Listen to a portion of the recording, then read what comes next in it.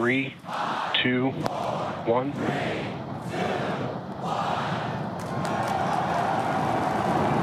We have liftoff. The biggest, most powerful rocket ever built climbed into the Texan sky, lifting the ambitions of the man who one day hopes to send it to Mars.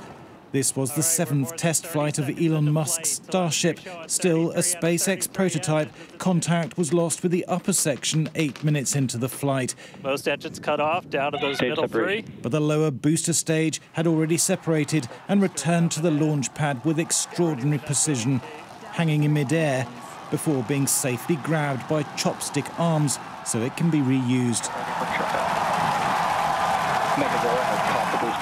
Starship's launch came on the same day that Amazon founder Jeff Bezos put his own heavy lift rocket into orbit on the first attempt.